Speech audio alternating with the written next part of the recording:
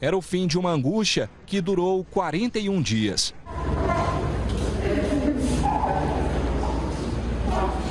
Quando eu li todos os exames, são conclusivos no sentido que houve de fato essa troca. Elas levaram os bebês trocados para a sua casa, para a sua residência. Os meninos nasceram no dia 29 de dezembro. A possibilidade de troca foi descoberta por uma recepcionista que notou um erro nas pulseiras de identificação depois que as famílias já tinham saído do hospital.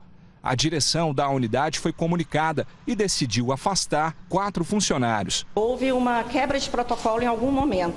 A gente não conseguiu identificar é, quem foi o responsável por essa quebra de protocolo, mas a gente sabe que houve. A gente sabe que na hora da entrega desses bebês para a mãe, saindo do, do centro cirúrgico, houve essa troca. Com o resultado do exame, o juizado da Infância e Juventude poderia ter determinado a destroca dos bebês.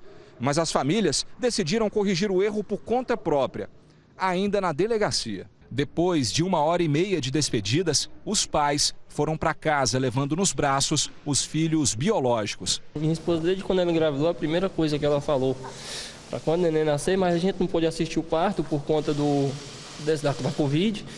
A coisa que aconteceu que trocaram a criança nossa.